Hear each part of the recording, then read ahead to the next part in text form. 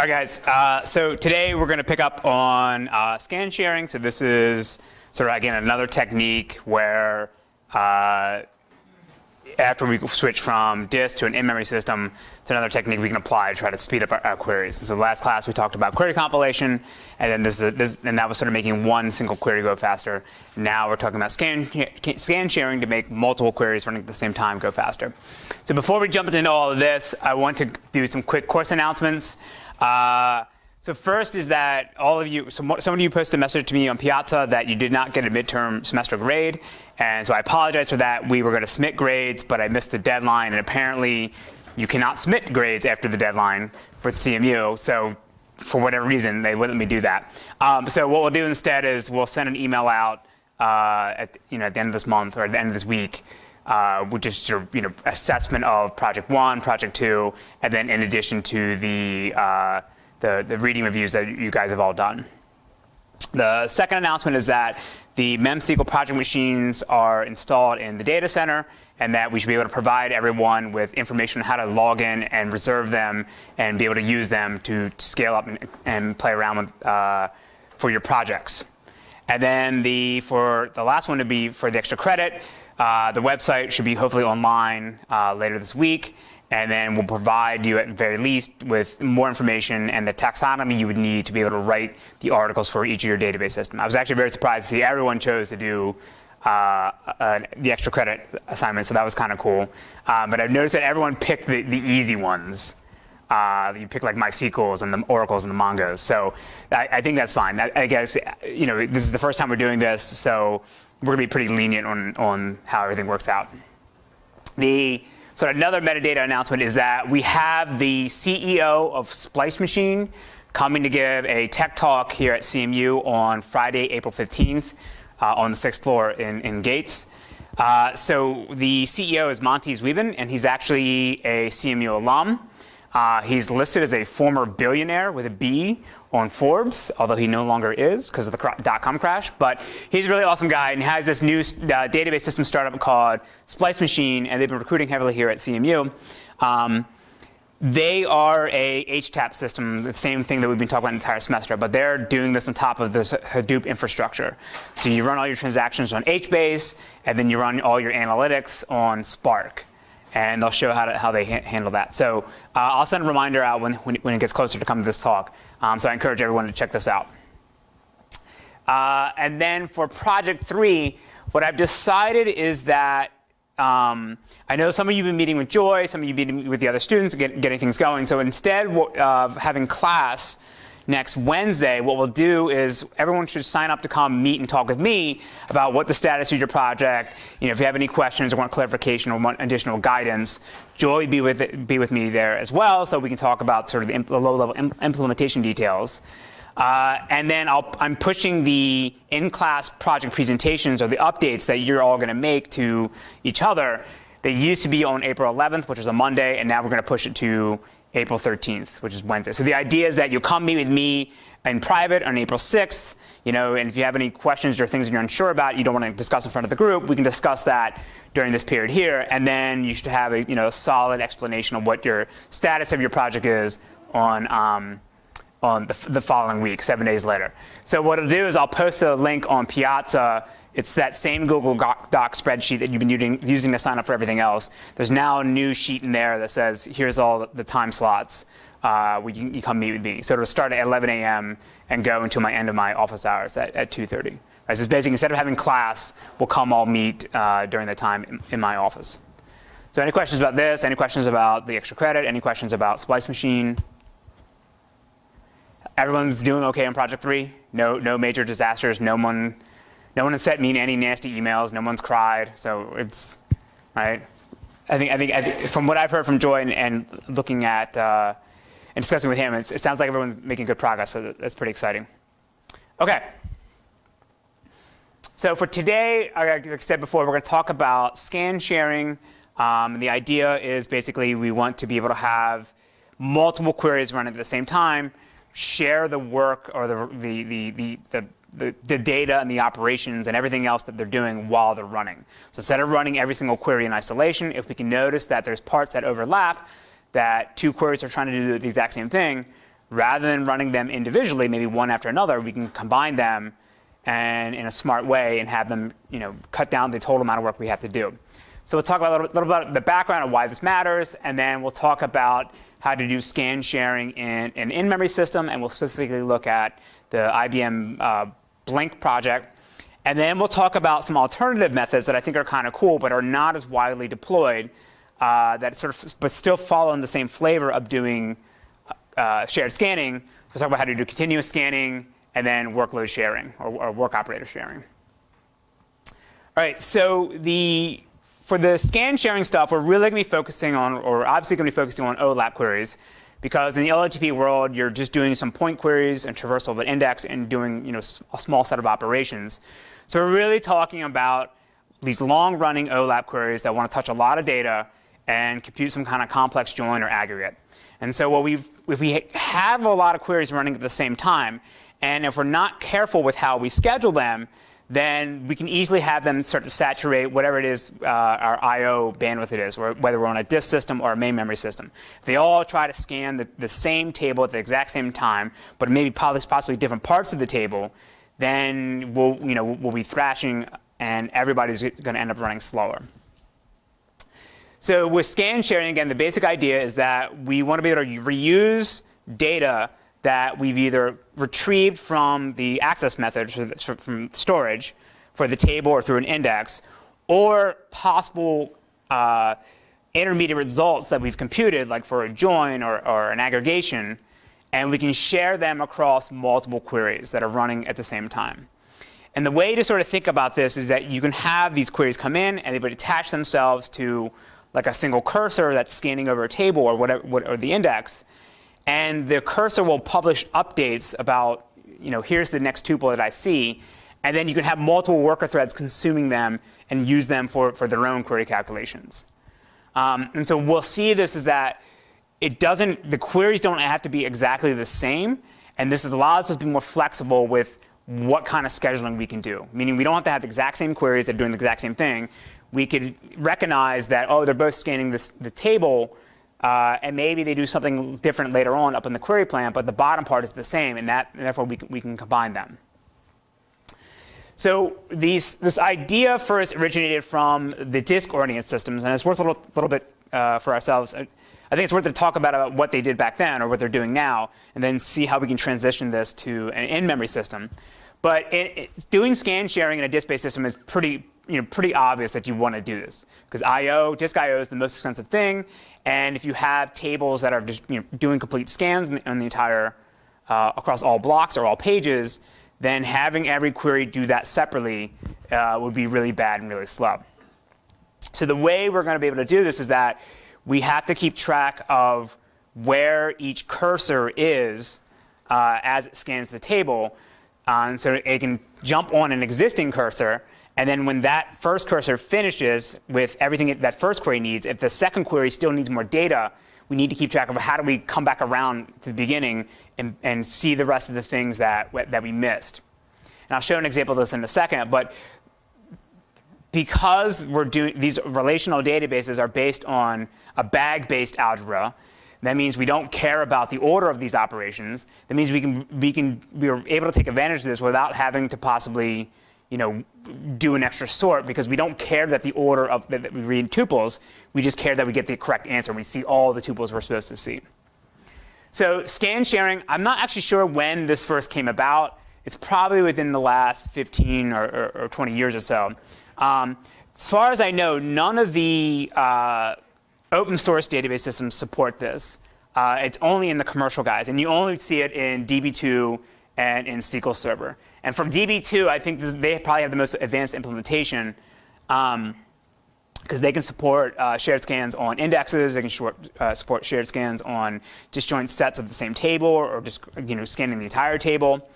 Uh, SQL Server, I think, all can only do uh, shared scans on across full table scans. For Oracle, they support a limited version of, uh, of the, what these other guys support, uh, and they, call, they have what's called cursor sharing. And this is where if you execute the exact same query, I mean the exact same predicates, the exact same where clause, the exact same everything, at, at the exact same time, then you can just piggyback off of it and reuse the data. Um, but if, the, if, if, there's one minor va variation in the query, then you have to do two complete, complete separate scans. So let's look at an example of how we do disk-based shared scanning. So we have our first query is running, or when we start, and it's doing a, a complete table scan on A, and, and assume all these disk pages, these pages on disk correspond to table A. And it's going to compute a simple aggregate of the sum of some value. So when it starts executing, uh, our cursor would start pointing at the first page, and then we would go swap or go, go retrieve that page and, and add it to our buffer pool. And then we scan down one by one, keep getting the more pages we need and copy them in. And then now at this point, when we go to page three, we obviously don't have any more space in our buffer pool. So therefore, we have to go uh, pick which whatever one we used last. In this case, it's page zero. That gets swapped out. And now page three is added into it. So now query number two comes along. And this also wants to do a full table scan on A but it wants to compute an average aggregate instead of a sum. So we can't use exactly the same, same result that the first query is going to generate. And so without shared scans, what would happen is if we just let this, this query start running, it would say, all right, I need to start at the beginning of the table, and I'll scan to the bottom. But it would start at page zero uh, and try to and recognize that it's not in the buffer pool, and therefore it needs to be swapped in. But query one just swapped that thing out. So now we're basically thrashing. We're going to go, you know, we just had it in, we threw it out. Now we're going to try to put it back in. So this would be bad. And now you would have a lot of contention. And if this was a spinning disk hard drive, the ARM is, is going back and forth as you're doing all these seeks. So with shared scanning, this will piggyback query 2 on this cursor. They keep going down uh, and getting, getting the rest of the pages. And now query 1 will recognize, well, I've seen everything that I want to see. I can go away and do whatever it is I want to do up, up you know, above the, in the query plan. But query 2 would say, well, I know I missed the first three, so I'll restart my cursor at the top and just go scan the rest in. Right? So it made it, the database system is ending up doing less work because it ended up having to uh, fetch three less pages than it would have if they were executed separately. And we don't have the contention of everybody trying to do this in, in, at exactly the same time. The disk has to try to keep up. So uh, the one thing to point out is that this is doing this scan sharing technique is actually easy to do, ignoring transactions and concurrency control for now. Uh, but it's, it's easy to do in a disk-based system because the database system has complete control over uh, almost all aspects of, of how it reads, reads data and, and, and copies things into a cache. Right? The first is because we, our buffer pool is completely managed by our, our database system. So we're not, you know, we're not using mmap. We're not use, letting the OS control things. We know what's going in and we know what's coming out. Um, and then we also have a dedicated thread to do I/O. Right? When we when, when we ask for a page, there's another thread that's going off and getting it and for us, and that way it's easy for us to sort of share this across multiple threads, you know, using like a, a pub sub interface. Whereas in like the, the morsel case or the morsel scheduling thing from Hyper, we saw that each thread was responsible for going, grabbing the data that was directly in memory and processing it and then going on to the next piece. So the problem we're going to have when we try to do shared uh, uh, scan sharing in a database management system is that we don't have full control over the CPU caches in the way that the, the disk-based guys do, because this is what the hardware is managing for us. And the second problem is that our caches are going to be significantly smaller than the uh, amount of data that we maybe end up processing, right? Whereas in the disk-based system, if you have a lot of DRAM, then you know maybe 25% of your database could fit in DRAM, and the rest is on disk. But since our caches are going to be way smaller than that, it's going to be a, a much smaller percentage. Um, another observation I'd like to point out too is that this is different than uh, this scan sharing stuff is different than query cache results, right? In a, in a, in a with a query caching or query ca result caching, if you execute the same query uh, first time and then a minute later you come back and execute this, the second the exact same query a second time, you can reuse the, the cache result. But in scan sharing, we're not we're talking about queries that are trying to execute exactly at the same time right? So result caching won't help us because we, we don't have the result for the first query yet. And it may also not be exactly the same, so therefore we, um, we, we may not be able to reuse all of what the first query was doing. Another thing component, so query result caching is sort of also like materialized views. Um, and therefore, if you have results cached, the database system has to track what the underlying tables are for those queries, for those results. So that way, if they change, you have to invalidate the cache. Where in scan sharing, you don't do that, right? You're only sort of generating things on the fly, and you're sharing them amongst queries that are running at the same time. All right, so we can talk now how to do this in, in an in-memory system. So the in, in, a disk-based system, obviously the, the, goal was to reduce the amount of disk I/O. Uh, in our in-memory database system, we to do sh scan sharing, we want to reduce the number of cache misses, right? Because that's you know the, the low-level L1, L2, L3 caches are way faster than having to go out to get, to get to DRAM. But we have this additional problem of when we schedule these guys is that now we have to worry about what the intermediate result sizes are for all the queries are running at the same time. In the disk-based case, um, that's disappointing. I don't know what number that is. That's my booking, sorry. Um, so in, in a disk-based system, we, we sort of can ignore that because uh, we're going to assume we're going to have enough DRAM to store, to store the intermediate results. But because our cache size is so much more limited, we have to worry about the size of these intermediate data structures. Um, so we'll see in, in, the, in how we do this in Blink, uh, they actually need to worry about how many queries are running at the same time, and they estimate the, the, the intermediate size of their results to make decisions about how many queries can run at the same time. Uh, so one of the things, though, in uh, before we actually talk about how to do explicit scan sharing in a uh, in an in-memory data system, there's actually a um, there's something called the convoy phenomenon that can occur. Actually, this also occurs in a disk-based system, but it's probably more pronounced in a in a in a in-memory system, where without having to do anything explicit for doing scan sharing, we actually can get some benefit of reusing cache results. Um, so for this, assume that we have some table that's out in memory, and then this is our, our, our shared caches like, like L1 to L3.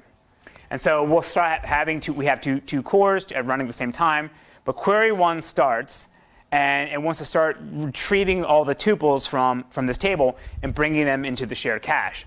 So the cursor starts here, and it goes through, and it's getting all these tuples one by one.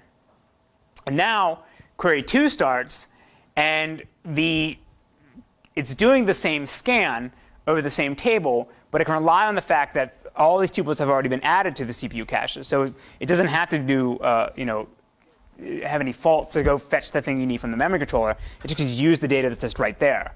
So this is the convoy phenomenon where as they're running at the same time, Q query 2 would eventually catch up to query 1 because query 1 is the one that's paying the penalty to stall while you wait all, to get all the memory.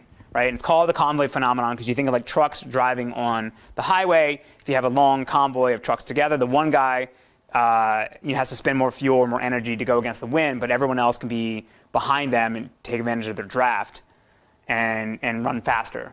So this is that sort of same effect that we can see um, in an in-memory system because the second queries can rely on things being in the same cache. Now this, rely, this requires that the you know, query 2 start within a reasonable time after query 1 does, uh, right? Because if it's, we would have that same thrashing problem if, if by the time query one is down here, uh, Q2 starts and we start throwing away things that Q2 needs, you know, it's going to have to pay for memory stalls. So if our queries are, are close enough to each other, then we, we can take advantage of this. So the convoy phenomenon is not new. I mean, it was discovered in like operating systems in, in the, in the late 70s. Um, all right, so now we're going to talk about the, uh, the Blink project, or the paper that you guys are uh, assigned to read. So the first thing you understand about Blink is, uh, I don't think it actually exists anymore, but it was a um, research project out of IBM Research in Almaden, the, the big database group there, which then eventually made it into the real DB2 product. And it was an in-memory query accelerator for uh, doing OLAP queries in DB2. So you can think of this as being the same thing as the Oracle in-memory column storage, the fractured mirrored stuff that we talked about before. You still have all the data in, uh, in a row store, and then you just make additional copies to it in, in an in-memory data column store structure. So Blink uses uh, dictionary compression. I don't think it uses SIMD because this, this, this work was done bef before all that became into vogue. Um, so the reason why I say it doesn't exist anymore because it's now been transitioned into a new project called DB2 BLU. The BLU doesn't stand for anything apparently. Uh, they just thought they were clever.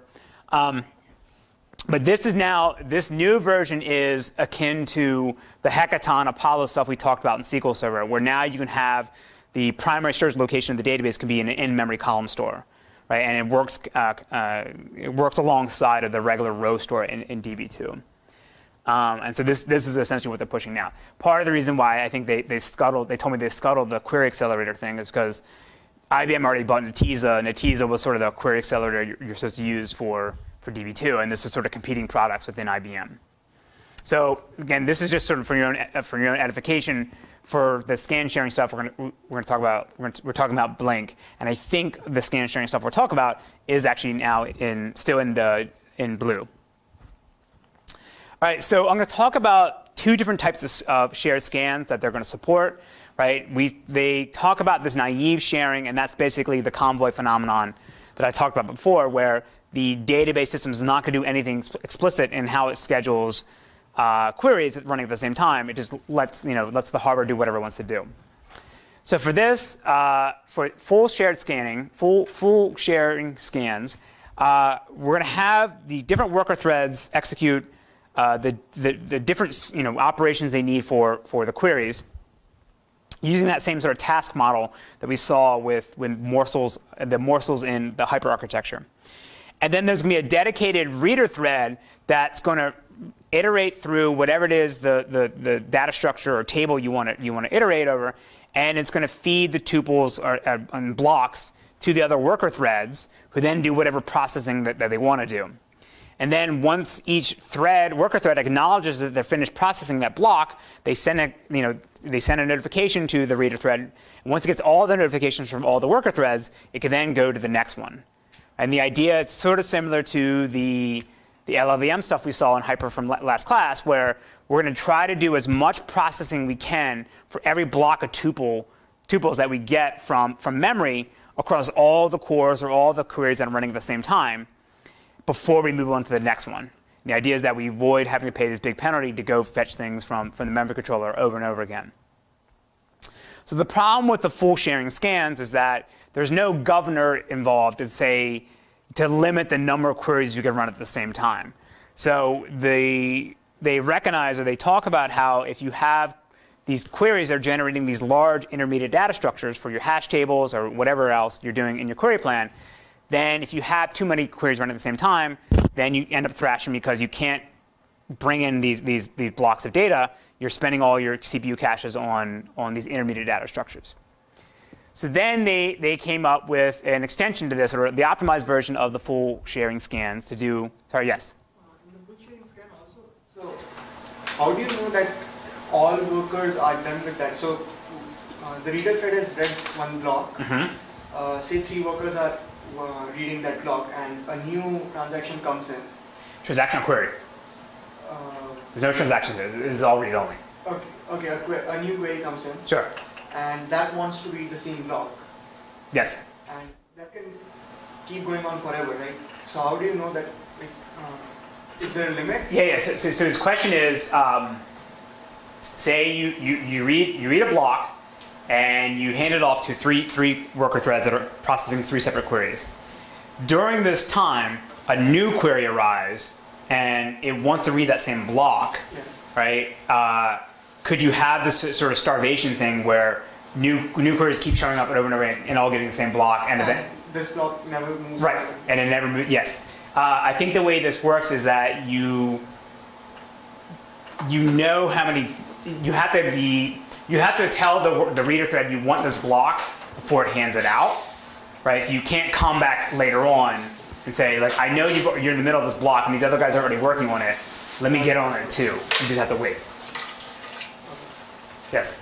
I think the strategy they said that they took in this paper is they just like looked at a static set of and then scheduled those and didn't consider other ones coming in. Yeah, so his statement is uh, in the paper, and he's correct, in the paper they assume the workload is static and they just do all the scheduling for that one workload, right? And that's all the experiments are based on.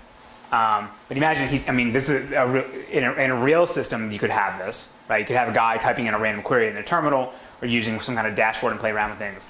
Uh, I, I, think the window, I mean, it's, it's, quite small, right? You're talking about, you know, milliseconds, of, probably less than that, microseconds to process a block.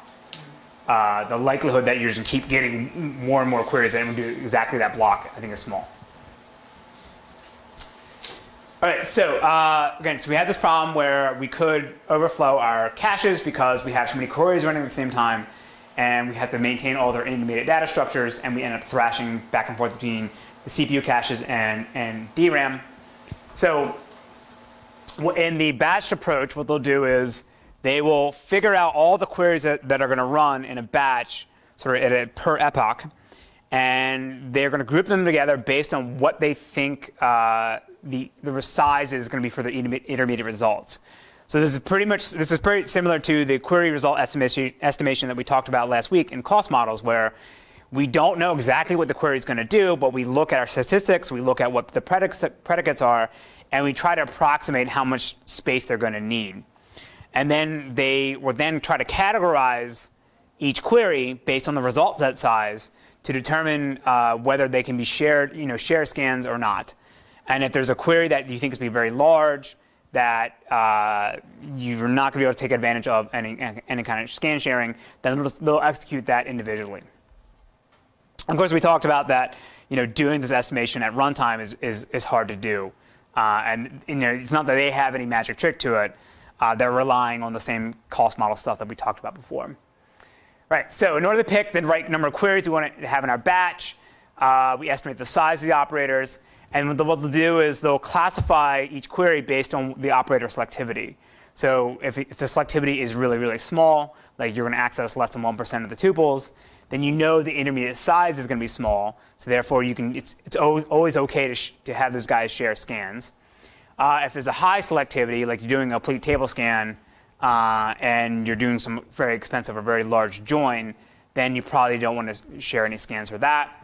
And then there's the middle guys here where I, you say, well, I think the selectivity is going to be OK, but then they take a sample on, on the data the same way that the hyper guys do to get a more accurate representation or accurate estimate of what the, what the, what the, the size of the result is going to be.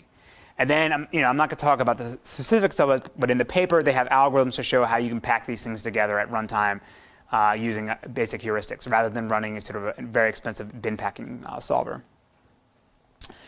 So uh, we can show some, some, some results about whether their technique works, and they're going to compare themselves against the what they call the naive sharing or the convoy phenomenon approach, where you basically let the hardware do whatever it is they want to do. And they have some sample queries from an IBM customer that they're going to use to determine uh, whether this, this approach works.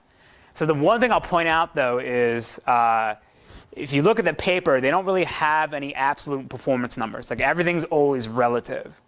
Uh, right? They're not going to say they can run 10,000 queries a second. They could say, here's the, th here's the throughput speed up we get versus like the default case.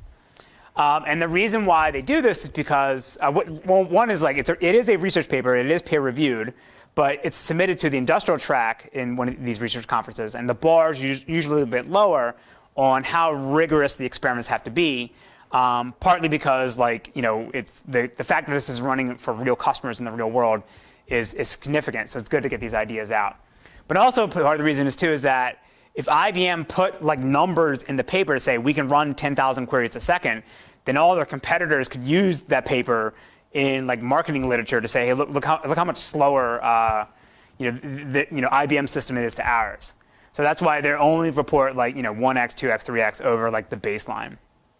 Um, this is also a reason why there's this thing called the DeWitt clause, uh, named after David DeWitt, the famous database professor at Wisconsin, um, where you can't name these any you know any particular database system, or commercial system, by name in a paper. So that's why you always see these things as DBMSX or DBX. Uh, because there's this clause in the, the, software license to say you can't name them by name. Okay, so uh, for the first experiment, they're going to show the, the, the, the, the, where all the cycles are spent in the CPU on a per query basis. Um, and they're going to measure, they're going to break down the numbers based on doing actual computations, uh, penalties for branch mispredictions, L2 hits, TLB misses, and then stalls from going to the memory controller. So they basically had two sets of numbers here. They have, they have the system running with one core where there's no sharing at all, and then eight cores where you, do, you could have sharing for, for the concurrent queries. And so as expected, what you would see is that when you have uh, one core, there's no sharing opportunities.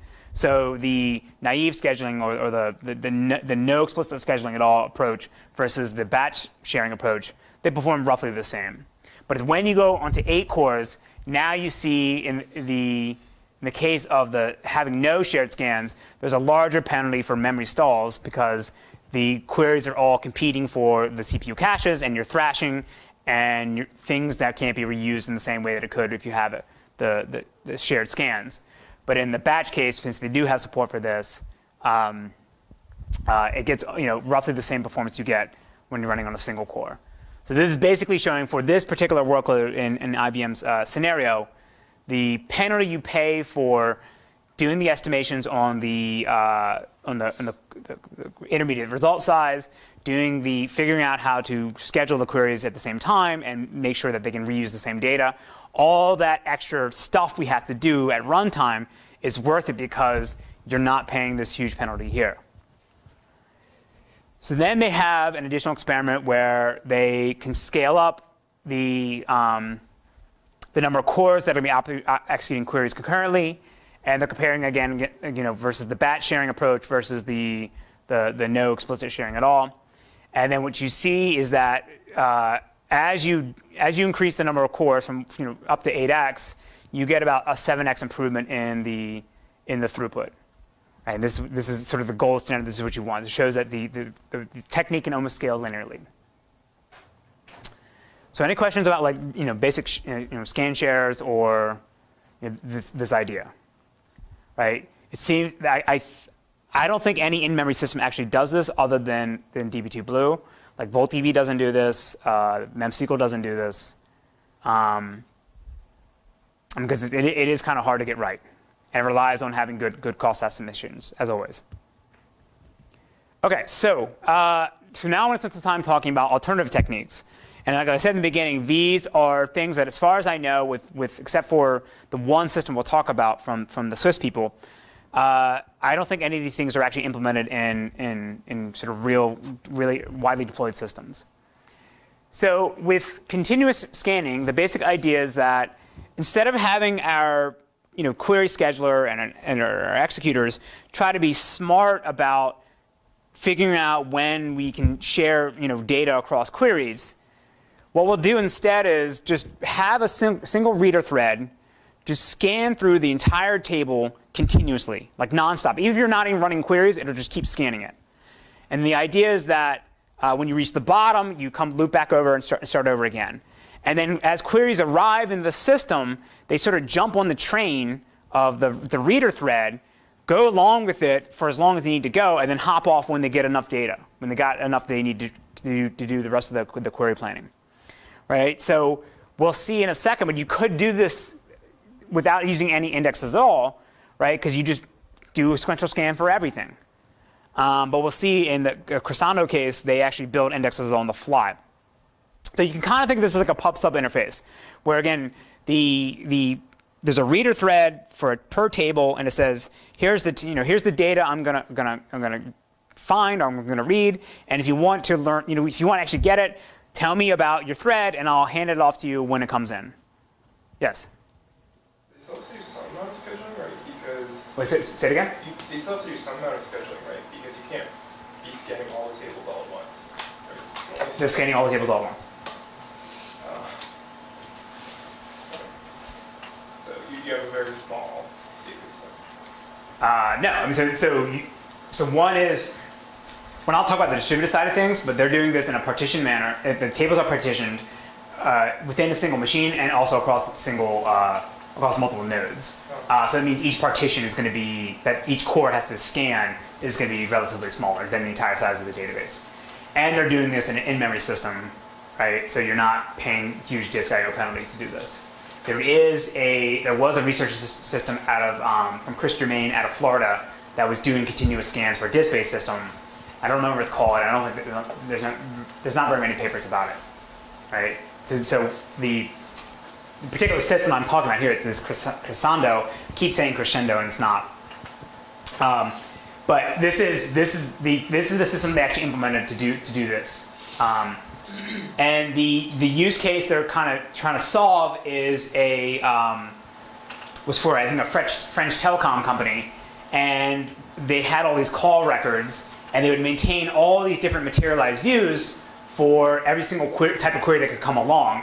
And what they found was that it, uh, maintaining all these materialized views over and over again as you get new updates would be really expensive to do. So instead, you just sort of build everything on the fly at the different partitions of the table using a single single thread or single core to, to, to, to scan everything.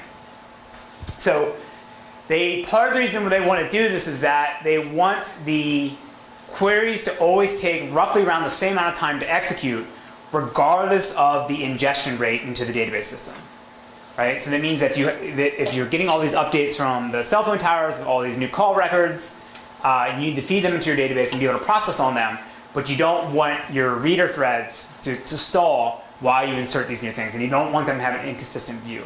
So they're solving two sort of two problems at once using a sort of a clock scan approach, but I'll talk about in a second. So they're going to have two, actually two cursors iterating over, over the table. Uh, they'll have a write cursor that is applying all the new updates that come into to the table, and then there'll be a read cursor that's a little bit behind it, reading all those updates, building indexes, and, and handing off queries or, or tuples to any operator or any reader thread that's subscribed to its cursor to process whatever the query is that they want to process.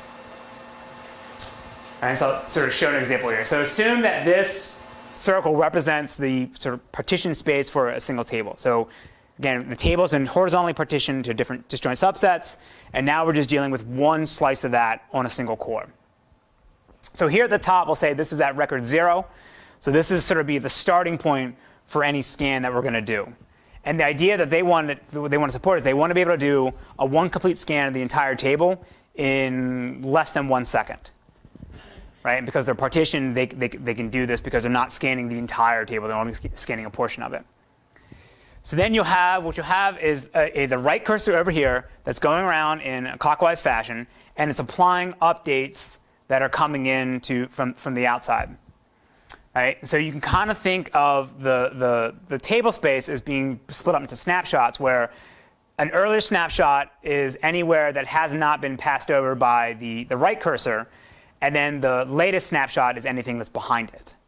So now our read cursor will always be back here, and is always reading the changes that are made by the write cursor uh, because it's always behind it. So therefore, it has a consistent view of the latest snapshot.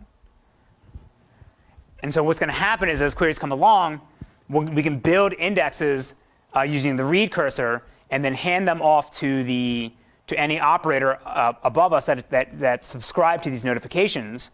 They can do whatever processing they want on it, and then they, they would finish when we reach the beginning of the you know of the, of the table space, and because we can notify them that hey we finished complete scan, you should not expect to get any any new tuples from us and then they can pass whatever other queries they want, uh, you know, pass whatever the data they want up to the operators and complete the queries. And then we, we blow away all the indexes, come back around and do it again.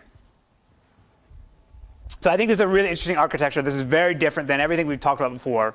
Uh, and like I said, this has been proposed in uh, a small number of systems, but this Crescendo thing is the only one that actually knows, that actually implements it, and is actually deployed in, in the real world.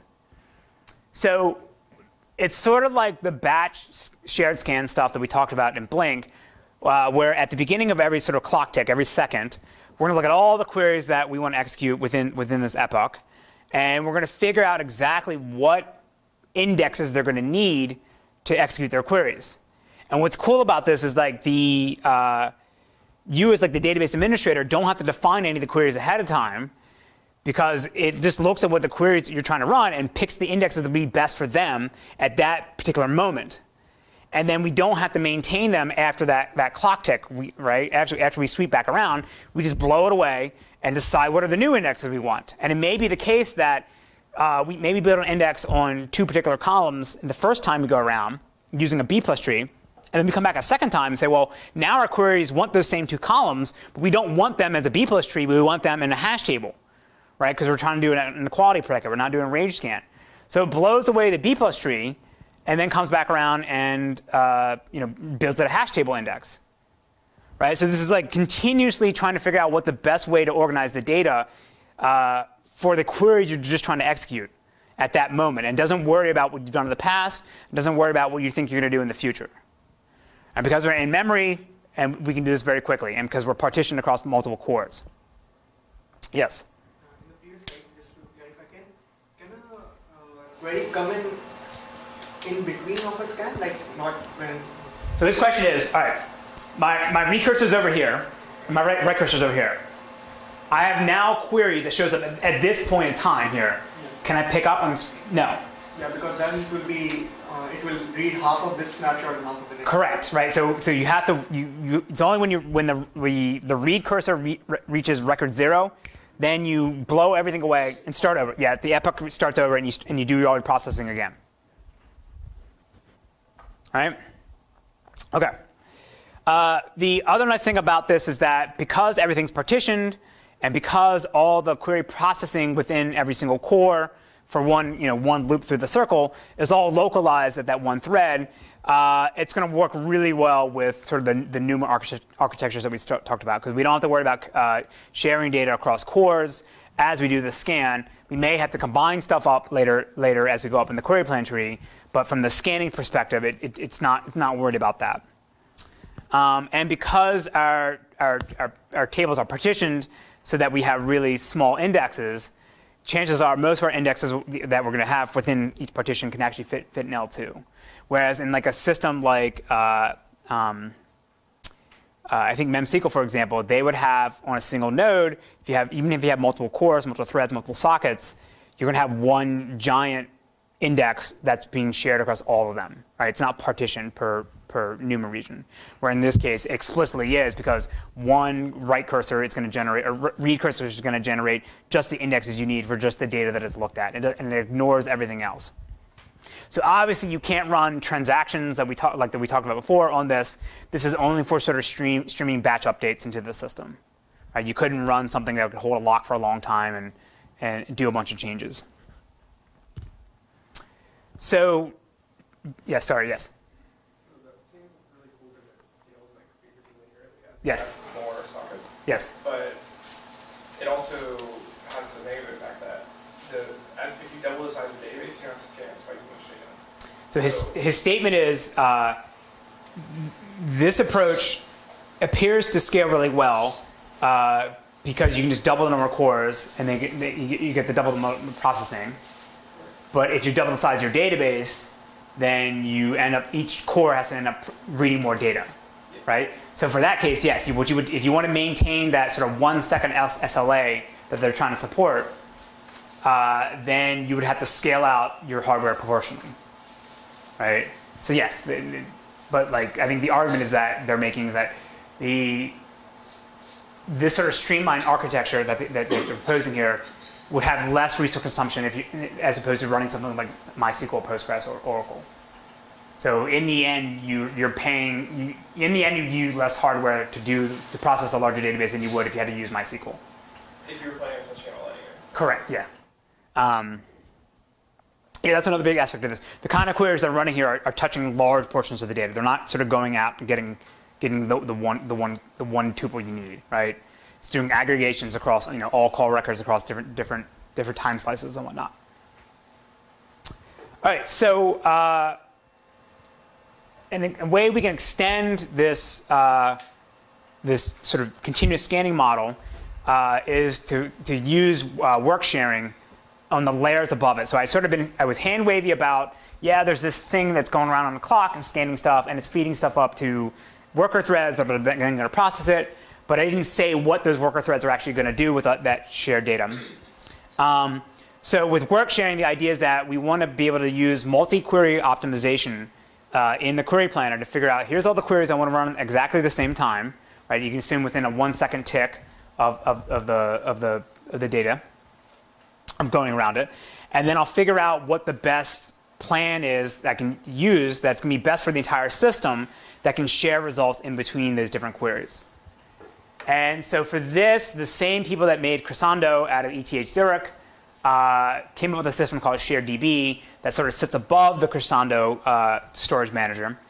And the idea is that they're going to use the batches that come in, of queries that come in within each, each time tick, and then figure out the uh, a way to combine the results to, to, to reuse, you know, reuse much of the data as can and reduce the amount of processing we have to do. So to show an example what SharedDB can do, say we have three queries here.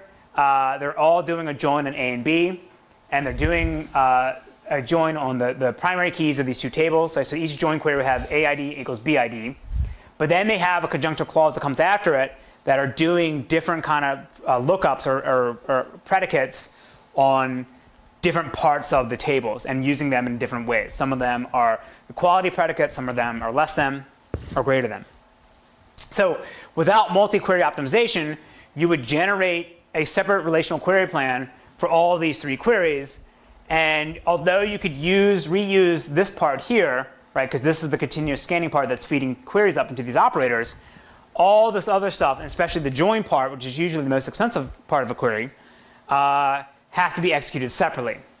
So what SharedDB can do, it'll combine together the, uh, the filters and the predicates into a query plan that looks like this, so that for one scan of tuples we're getting, we'll apply all three predicates at the same time and then union them together. And then we'll join the union of this side with this side using a special join uh, predicate that knows how to match them to uh, match the tuples based on what query actually needs them. So for each of these, um, for each of these paths through these filters here, we'll tag the results with what query ID we want, Uh, or what query ID corresponds to, to tuples that are being generated by this. And then when we do our join, we would check to see that there's you know, query one on from A and query one for B here. Those two guys would be joined together, and all the other ones are just sort of thrown away. And so if you think about this from a from an individual queries perspective, this is terrible because you're getting all this, you know, for query one, you're getting query two and query three's data in your in your join operator here, and you're essentially increasing the size or increasing the number of tuples you have to evaluate to compute your join.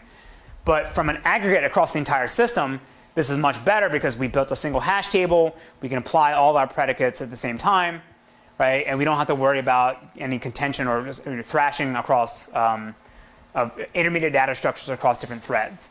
And then we do the aggregation to, to, to do a group by based on the query ID, which then can provide the results exactly to each query.